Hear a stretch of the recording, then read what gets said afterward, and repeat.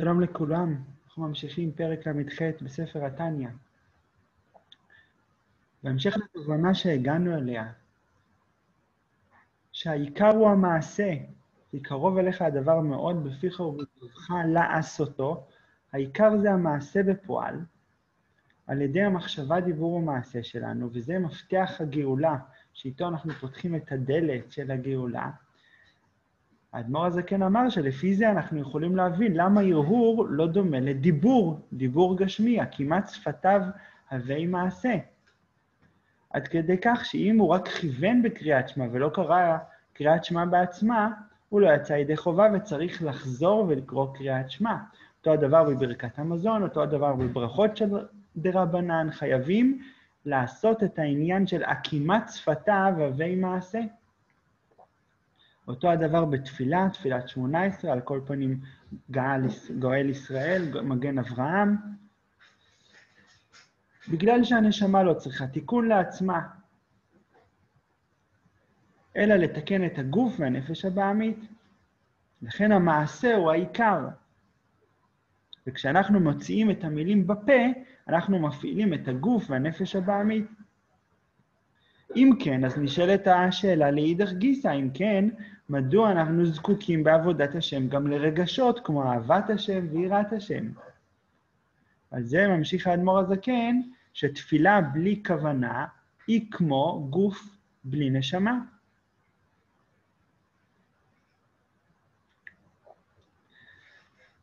ומכאן הגענו לתובנה שהדירה שהקדוש ברוך הוא רוצה, שהיא תהיה דירה נאה, הכוונה גם לדירה מוארת. לא רק עצם הדירה, לא רק עצם התפילה, עצם מעשה המצווה, אלא גם שיהיה בו רגשות.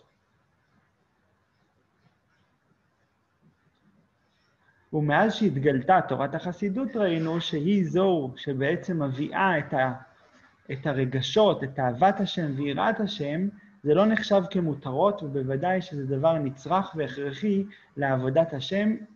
פנימיות התורה נקראת נשמתה דאורייתא, כמו גוף שצריך גם נשמה.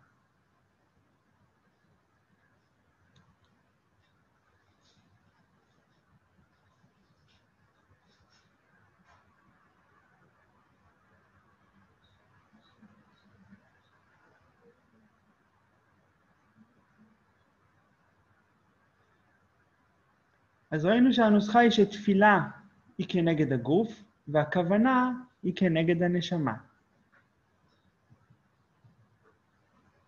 מכאן אנחנו מגיעים לחלק התניא ששייך להיום, השיעורים הוא לזכות ברוריה בת סילביה מרסל הלן. כאן האדמו"ר הזקן עונה על השאלה למה הדיבור והמעשה של המצוות נמשלו לגוף, וכוונת המצוות נמשלה לנשמה. כאן אנחנו מכירים שני מושגים בחסידות, מושג של הסתר, שהוא מורה על כיסוי, ומושג של צמצום, שהוא מורה על מיעוט. מה שהאדמו"ר הזקן אומר פה בתניא, שאין ערך ודמיון כלל בין בחינת אור וחיות המאיר בגוף, אין מה, של, אין מה להשוות אותם בכלל, כי הגוף הוא חומרי, הוא דומם. מהבחינה הזאת הגוף דומה יותר לאבן. וזה כנגד התפילה.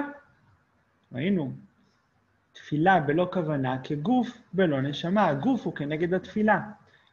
ואילו הנפש שמחיה את הגוף, הנפש החיונית, הנפש הבעמית, אז היא רוחנית כל כולה, וממילא אין מה להשוות בין רוחני לגשמי. בגשמי יש חיות אלוקית מועטה, וברוחני יש חיות אלוקית מרובה.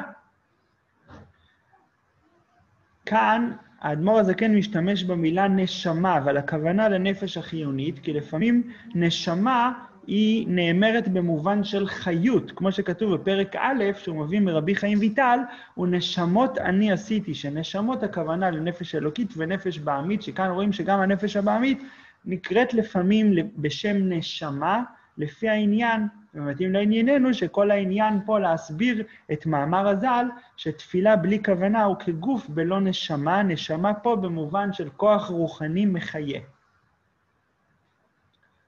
בדומה למשקפי שמש, שהתפקיד שלהם להעלים ולהסתיר על אור השמש,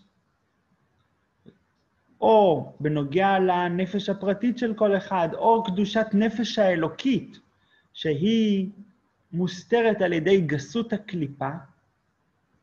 אותו הדבר בעניין שלנו, שאנחנו מדברים על אסתר, כשישנה השפעה מסוימת שנמשלה לאור, ההסתר מונע מהאור להמשיך ולעבור. או הסתר מסוג אחר, כמו וילון, שמשנה את המהות של האור, את האיכות של האור. זה לא אותו אור שמאיר מצד אחד, לא אותו אור שעובר לצד השני. כשאנחנו מדברים על צמצום, בשונה מאסתר, צמצום הוא כמו חלון.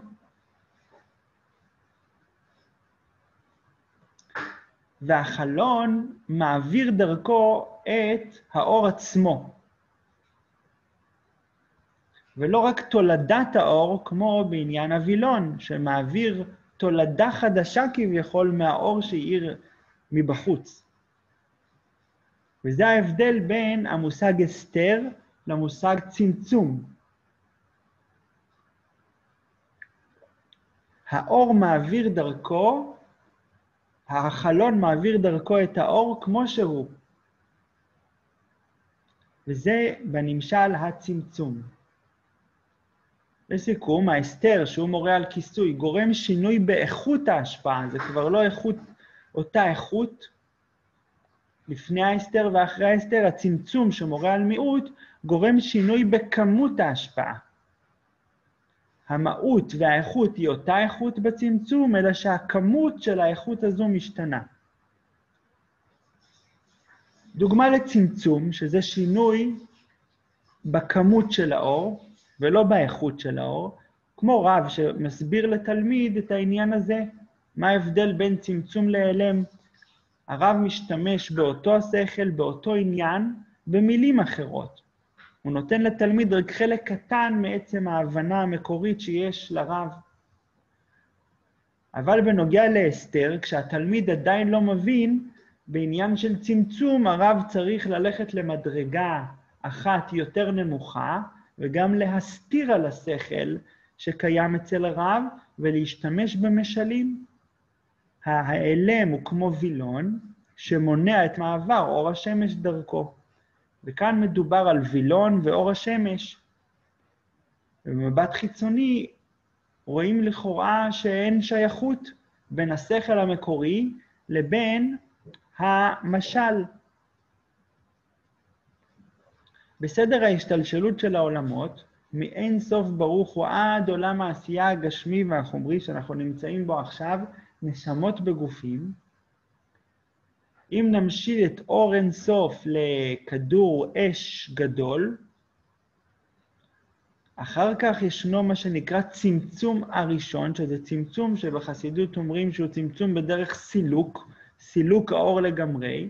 אחרי זה, מהארת קו וחוט, שזה המקור הראשוני לעולמות, עולם האצילות, עולם הבריאה, עולם היצירה, עולם העשייה, זה אור באיכות חדשה. אור אחר לגמרי מהאור שהאיר לפני הצמצום, צמצום הראשון, שזה היה אור אינסוף. הצמצום הראשון בעניין שלנו הוא בדוגמת ההסתר, שעניינו לכסות על האור המקורי. האור שבא אחריו הוא אור באיכות חדשה, אור של תולדה. אבל מהארת קו החוט עד לעולם העשייה כבר מדברים באותו סוג של אור, אלא שהוא הולך ופוחת. וזה לעניין שלנו בדוגמת הצמצום.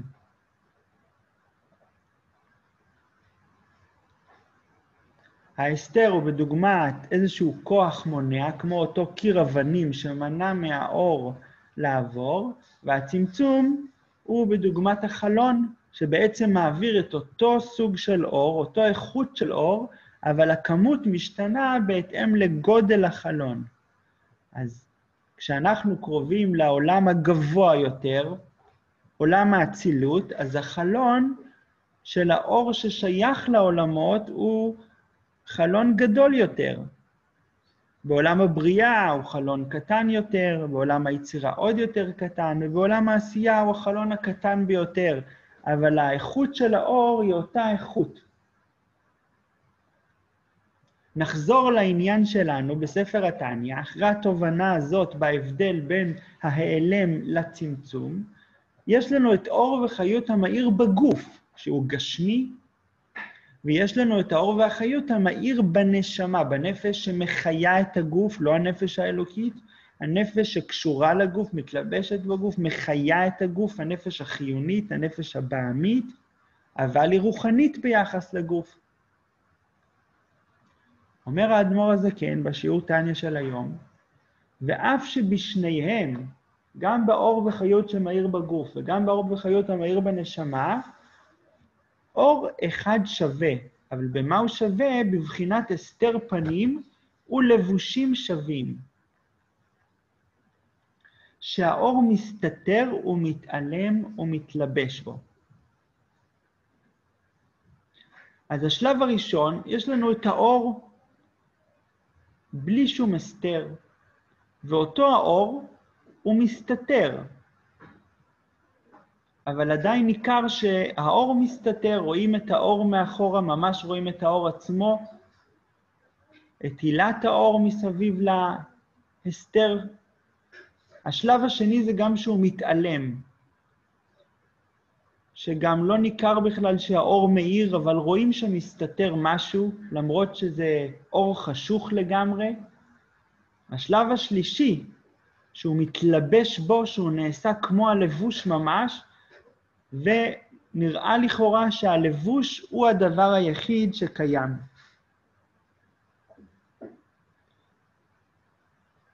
כמו שרבי הלל מפריץ' אמר, על הפסוק, העם ההולכים בחושך ראו אור גדול, שכשנמצאים במקום חשוך, הרבה זמן מתרגלים לחושך, ולפעמים נדמה שהחושך עצמו הוא אור, ויותר מזה אור גדול. שזה השלב השלישי, אחרי שהאור אינסוף מסתתר, ואחרי שהוא מתעלם, אז הוא מתלבש, הוא נהיה כמו הלבוש עצמו, וניכר שלכאורה שהלבוש עצמו זה הדבר היחידי שקיים.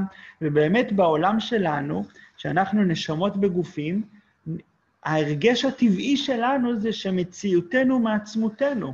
למרות שאנחנו מרגישים שאנחנו חיים, אבל אנחנו לא מרגישים שהקדוש ברוך הוא מחיה אותנו בכל רגע. אנחנו לא מרגישים שהחיות שלנו היא חיות אלוקית, אנחנו מרגישים שהחיות שלנו היא טבעית. אז לגבי ההסתר פנים, האדמו"ר הזה כן אומר שבשניהם אור אחד שווה בבחינת הסתר פנים. גם האור של הנפש שמחיה את הגוף, שהיא רוחנית, וגם האור שמחיה את הגוף הגשמי, מהבחינה של ההסתר פנים, זה אותה איכות של אור. בכל חלקי הבריאה, לאלוקות לא מורגש האור האלוקי. וגם בחיות של הנבראים, שזה מה, ש, מה שמחיה אותם, הנשמה של הנבראים, הפנימיות שלהם גם לא ניכר שהיא חיות אלוקית. ממשיך האדמו"ר הזה כן, כי שניהם הם מה, מהעולם הזה, שבכללותו מסתתר בשווה האור והחיות שמרוח פיו יתברך. בשום דבר בעולם הזה לא ניכר בגלוי שהקיום שלו הוא מאלוקות. אפילו בחיות, בנשמה של הדברים, לא ניכר שהיא חיות אלוקית. זה נראה כמו עניין טבעי לחלוטין, כמו שאר סדרי הבריאה, הטבע, גמטריה האלוקים.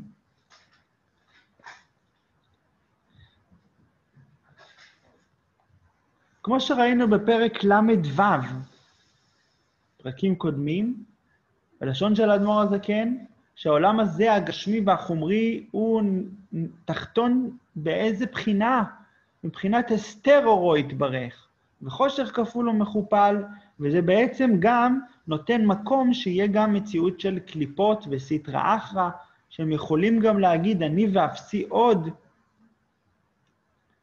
במילים אחרות, החיות של כללות העולם הזה מבוטאת בפרק ל"ג של תהילים. בדבר השם שמיים נעשו, וברוח פיו כל צבעם. וזה 24 שעות בכל רגע ורגע. אותה החיות באותה האיכות של האור. גם לדומם וגם לצומח וגם לחי וגם למדבר ואפילו לנפש החיונית שמחיה את הגוף בעולם שלנו, כולם תחת ממשלת דבר השם, שזה העשרה מאמרות שבהם נברא העולם. כולם כפופים לעשרה מאמרות שבהם נברא העולם. ומה זה אותם העשרה מאמרות? זה לא סתם שנקרא עשרה מאמרות, זה דבר השם, שזה איכות מסוימת של אור. וזה נקרא דבר השם, כמו הדיבור שלנו שמוציא החוצה לעולם, ה... לעולם הרחב, הגדול, את מה שנמצא בפנימיות האדם. נחזור לשרטוט של סדר ההשתלשלות. ראינו שהאיכות בין אור אינסוף לאור ששייך לעולמות, שמתחיל מהארת קו החוט, העולמות, אצילות, בריאה, יצירה, עשייה, האור השתנה לגמרי, האיכות שלו השתנתה על ידי ההסתר של הצמצום הראשון, זה אומנם נקרא בשם צמצום, אבל הוא לא דומה לצמצומים שמתחתיו. הצמצום הזה הוא צמצום באופן של סילוק, באופן של הסתר לגמרי, והאור שמתלבש בעולמות הוא מאיכות חדשה והוא הולך ומצטמצם. ממשיך האדמו"ר הזקן, בבחינת הסתר פנים וירידת המדרגות בהשתלשלות העולמות ממדרגה למדרגה, בצמצומים רבים ועצומים. רואים כאן את המושג של הסתר פנים ואת המושג של צמצומים רבים ועצומים. וזה בעצם הטעם והסיבה שבעולם הזה מסתתר בשווה החיות,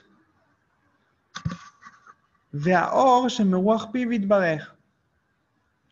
כי העולם הזה נברא באופן של הסתר פנים, ירידת המדרגות בהשתלשלות העולמות.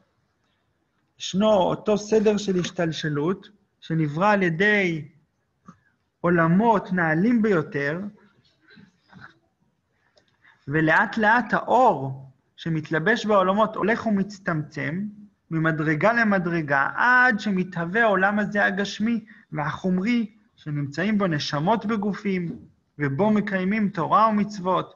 אז מה בעצם החילוק בין עולם אחד לעולם אחר, נעלה יותר? רואים שיש עולמות נעלים ויש עולמות נחותים יותר. זה אך ורק בעניין של אסתר אורו יתברך, וצמצומים רבים. הנבראים שנמצאים בעולם הבריאה מרגישים ומשיגים יותר את החיות האלוקית שמחיה אותם. שם יש מלאכים, למשל, שנקראים שרפים, שהם נשרפים מביטולם לאלוקות, שנובע בעצם מהשגה גבוהה שיש להם בבורא. וככל שהמדרגות הולכות ויורדות, בעולם היצירה גם יש מלאכים, נקראים חיות הקודש, יש להם השגה פחותה מהמלאכים שנמצאים בעולם הבריאה. פחות נרגש אצלהם האור האלוקי שמחיה אותם, בגלל שישנו צמצום של האור שמתלבש בעולמות. הם לא יכולים להשיג יותר. עד שמגיעים לעולם שלנו, עולם העשייה הגשמי, שבו הצמצום הוא הגדול ביותר. האור האלוקי ששייך לעולמות ירד למדרגה הנמוכה ביותר, שאין מדרגה יותר נמוכה מהמדרגה הזו. לכן התכלית דווקא בעולם הזה הגשמי שלנו. הכל מתנקז אל אותה מדרגה שנקראת עולם העשייה, ולכן דווקא כאן מקיימים תורה ומצוות ולא בעולם היצירה, ולא בעולם הבריאה וכולי. עד כדי כך שישנם מדרשים וסיפורים שהמלאכים נתקנאו וקינאו בעם ישראל שקיבל את התורה, בעם ישראל שמקיים מצוות, וכמו התשובה שהשיב להם משה רבינו, כלום יצר הרע יש ביניכם, אתם חייבים בכיבוד אב ואם לפני מתן תורה. ממשיך האדמו"ר הזקן, עד שנתלבש בקליפת נוגה, להחיות כללות עולם הזה החומרי. ראינו שהעולם שלנו נברא על ידי צמצום גדול מאוד, שבו לא מרגישים בכלל שהחיות היא חיות אלוקית. וזה לבד לא היה מספיק בשביל לברוא נבראים נפרדים כמונו, מבחינה חיצונית, שלא מרגישים את הקדוש ברוך הוא בכלל. זה התאפשר רק על ידי התלבשות נוספת בקליפה, שנקראת קליפת נוגה. הקליפה מכסה על הפרי, ונראה שהקליפה זה הפרי. אם לא יהיה מישהו שידע שבתוך הקליפה יש פרי, יחשבו שהקליפה זה העיקר, ולא ידעו בכלל על הפרי. אותו דבר העולם הזה. לפעמים נראה שהקליפה זה העיקר, וצריך להיות חכם גדול בשביל לדעת שבתוך הקליפה ישנו פרי, ושצריך לקלף את הקליפה בשביל לגלות את הפרי וליהנות מן הפרי. אותו הדבר הקליפה הרוחנית, קליפת נוגה, היא מסתירה מאוד על האור האלוקי, עד כדי כך שלא מרגישים בכלל את האור האלוקי, שבעצם נמצא כאן, הוא מהווה אותנו, מחיה אותנו, מחבק אותנו בכל רגע ורגע. גם בעולם הזה הגשמי החומרי, שהוא התחתון ביותר. ולמה זה נקרא קליפת נוגה? אומר האדמו"ר הזקן, דהיינו, כל הדברים המותרים והטהורים שבעולם הזה. הדברים הניטרליים, שהם לא שייכים לטומאה, שזה בעצם רובו ככולו של העולם הזה.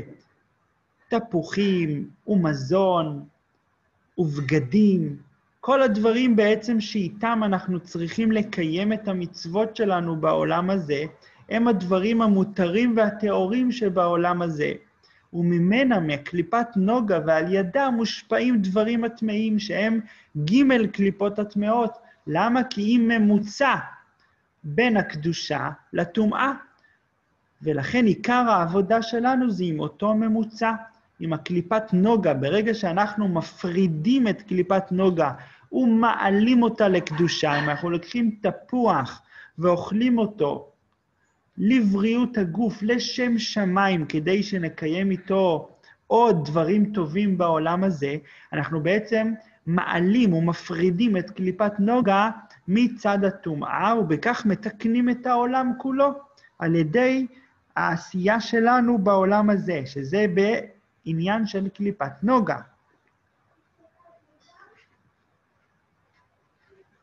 אף על פי כן, ההערה שהיא המשכת החיות, אשר השם מאיר ומחיה דרך לבוש זה, הלבוש של קליפת נוגה, אינה שווה בכולן בבחינת צמצום והתפשטות. למרות שראינו שבעניין של ההסתר על האור של הקדוש ברוך הוא, אין, אין הבדל בין הנשמה לגוף, גם הנשמה, הנפש החיונית שמחיה את הגוף, וגם הגוף, הם שייכים לאותו סקטור של אור, האור שמתלבש בעולמות. וגם בנפש החיונית וגם בגוף הגשמי לא ניכר שהחיות שלו מאלוקות, אבל בעניין של הצמצום וההתפשטות, באיזה מידה האור מתפשט או מצטמצם, אז יש ביניהם הבדל, ולפעמים הבדל עצום. היא רוחנית וזה גשמי. בנשמה מאיר אור אלוקי רב, ולכן היא נקראת רוחנית. ובגוף מאיר אור אלוקי מועט ומצומצם, לכן הגוף נקרא גשמי וירוד ולא רוחני.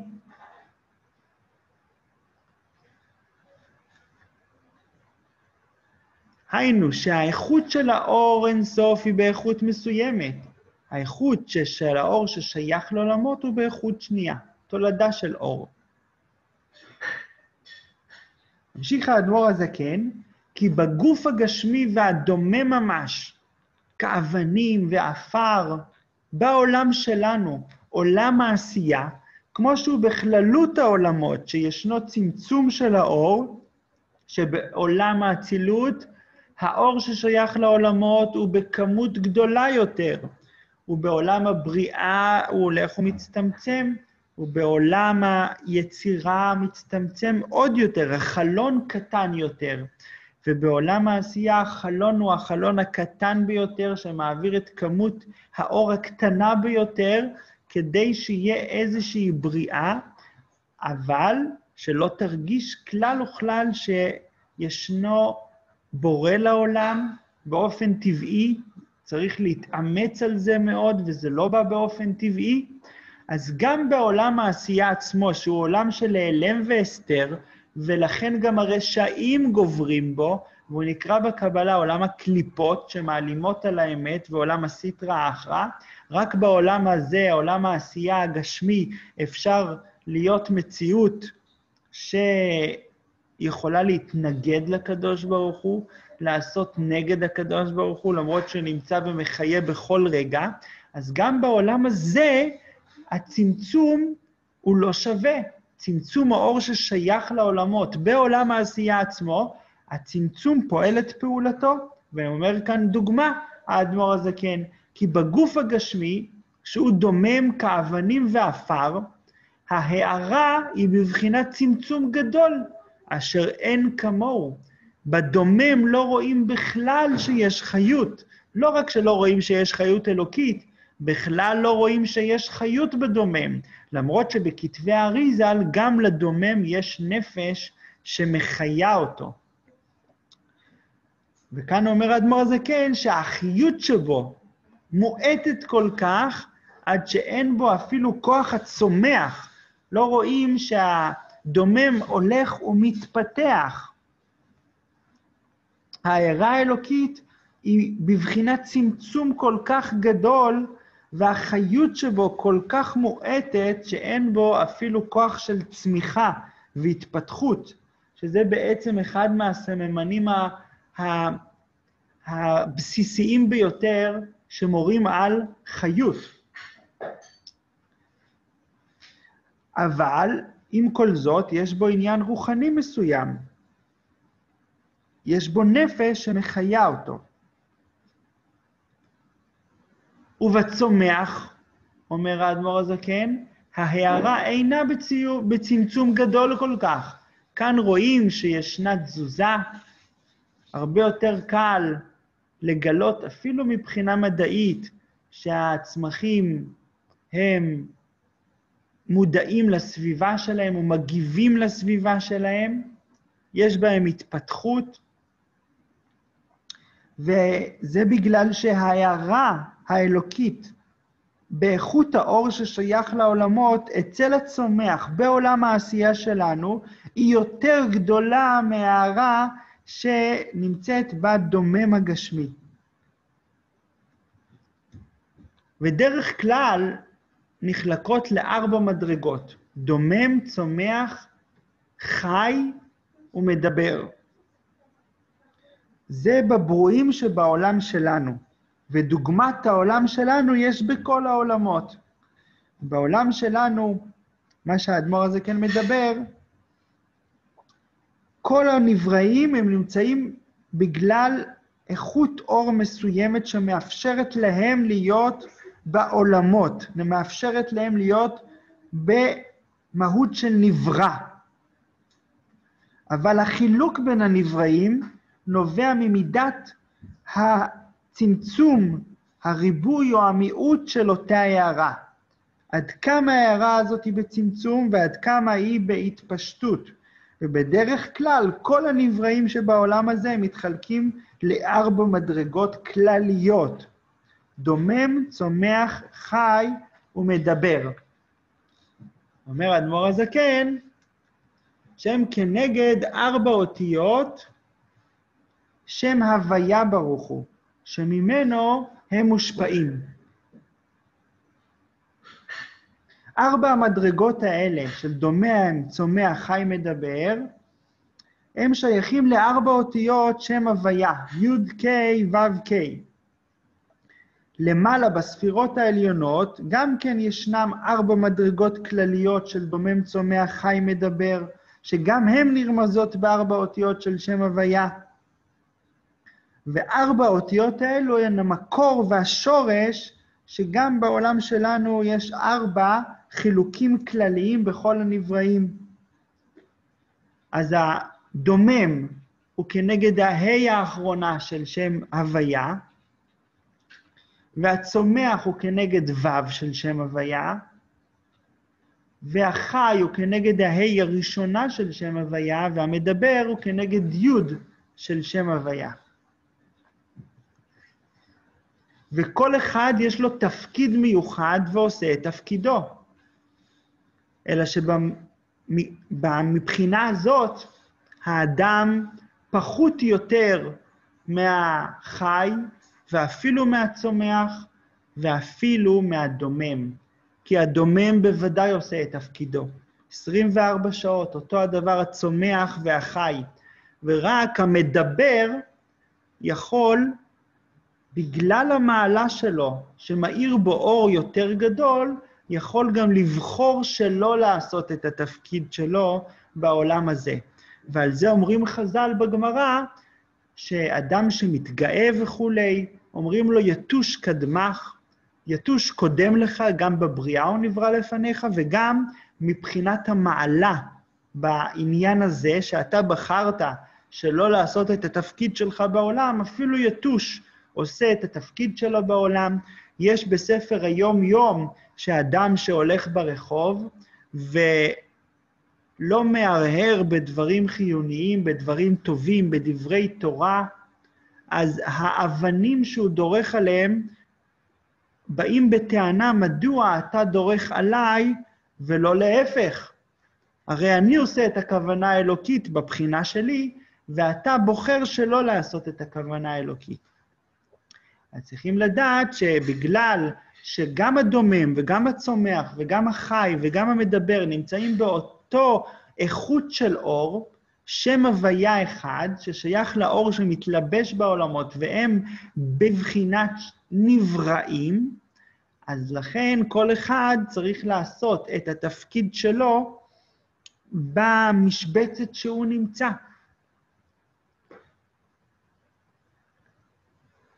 כך גם בנוגע להערה המאירה במעשה המצוות, לבין ההערה המאירה בכוונת המצוות. עכשיו בעצם סוגרים את ההסבר של האדמו"ר הזקן, נדבר על זה גם בשיעור הבא. מדוע הגוף נמשל לעצם התפילה, האותיות של התפילה הגשמיות, והכוונה של התפילה נמשלה לנשמה. בעצם גם הכוונה של התפילה וגם התפילה עצמה הם רצון השם, שזה שייך לאור אין סוף שלפני הצמצום הראשון, האיכות הראשונה של האור, האור כמו שהוא, כי גם הכוונה של המצוות וגם המצוות עצמם הם רצונו של השם, ומהבחינה הזאת אין שום העלם והסתר. אז מה בכל זאת ההבדל בין תפילה אחת לתפילה שהיא נמצאת באופן של כוונה גדולה יותר? אך ורק בכמות ההערה שמאירה במעשה המצוות. שהכוונה באופן כללי, הכוונה הכללית של כל הכוונות, זה הרגשת הדבקות להשם. אז ההבדל בין מעשה המצווה הגשמי, שזה כמו הדומם, שזה מעשה בלי שום כוונה, לבין הכוונה הגדולה שקשורה ליוד של שם הוויה, זה אך ורק בצמצום האור והתפשטות האור, אבל לא באיכות האור. כי האור של הכוונה והאור של המעשה הוא אותו האור, אור אינסוף. נסכם שבאיכות של ההשפעה של האור, שזה כנגד ההסתר, אין שינוי בין הנבראים השונים. וזה דומה לטענת קורח, שהוא אמר, כולנו שווים וכולנו היינו במתן תורה וכולנו קדושים. אז למה בכל זאת יש חילוקים בין משה רבינו לשאר העם? והכמות של ההשפעה של האור, שזה בדוגמת הצמצום של אותו האור, עד כמה החלון גדול, אז יש הבדל בין הנבראים השונים. מישהו בבחינת חלון גדול, כמו משה רבינו, שייך ליוד של שם הוויה. משה רבינו כנגד חוכמה, ויוד כנגד חוכמה. ואדם פשוט שבפשוטים הוא כנגד ה' של שם הוויה. בזה כן יש הבדל, אבל זה בדוגמת טענת המרגלים, שהם ראו ניסי ניסים במדבר, והאוכל ירד מן השמיים, היה מן מן השמיים, ולא היו צריכים להחליף את הלבושים שהיו מתכבסים מעצמם. הם ראו את קריעת ים סוף, הם ראו גילויים גדולים, הם ראו אור גדול, אז אמרו, בשביל מה צריך לרדת ולעשות את מעשה המצוות עצמם בארץ ישראל? אז רואים שההסתר והצמצום זה כנגד איכות וכמות. כמו בתיבת נוח, שעל זה גם מדברים בחסידות, אנחנו מדברים על תיבה, וגם תיבות התפילה ותיבות הברכה, גם כן נקראים תיבה בלשון הקודש. וכמו שבתיבה עצמה היו קומות, היה את הקומה התחתונה של האשפה, בבחינת דומם, והיה את הקומה האמצעית של הצומח והחי, היה את הקומה העליונה של המדבר. אז כל תיבה ותיבה שמוציאים מהפה, אז היא בעצם מבדילה אותנו, אם זו תיבה קדושה, תיבה של תורה, תיבה של תפילה, היא מבדילה אותנו ומעלה אותנו לאיכות אחרת לגמרי. אנחנו כבר לא נמצאים במבול, אנחנו כבר נמצאים בתוך התיבה. תיבת התפילה, תיבת הברכה, אבל בתוך התיבה עצמה, אחרי שאנחנו באיכות הגבוהה של האור, אז באיכות עצמה ישנן מדרגות שהם שייכים לכמה אנחנו מקבלים מאותה איכות וכמה לא. צמצום הכמות של האור או התרחבות של אותו אור. הרי זה אור ששייך לתיבה, נמצאים בתוך התיבה. אם האור בצמצום גדול, אז נמצאים בקומה התחתונה של הדומם. אם הוא בכמות גדולה יותר, אז שייכים לצומח. כידוע של ו' של שם הוויה זה כנגד הצומח, ה' אחרונה של שם הוויה כנגד הדומם. ואם הכוונה היא הגדולה ביותר, ששייכת לי' של שם הוויה, אז אנחנו נמצאים בקומה השלישית העליונה של המדבר. וזוהי התיבה של התפילה, כמו אותו חסיד, הסיפור שהזכרנו, ששבע שנים היה לו חיות גדולה מפתגם של האדמו"ר הזקן, שמה היה הפתגם? הוא אמר, זכור ושמור בדיבור אחד, שכל דיבור שלך תזכור את האחד הקדוש ברוך הוא, שזה בעצם הכוונה הכללית הגדולה ביותר, הדבקות בבורא עולם שנמצא ומחיה בכל רגע, זכור ושמור בדיבור, בכל דיבור, את האחד, את בורא עולם ומנהיגו. יהי רצון שעד השיעור הבא תהיה גאולה אמיתית והשלמה מתוך חסד ורחמים.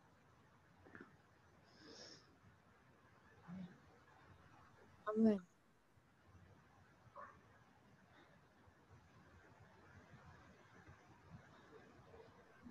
Garba.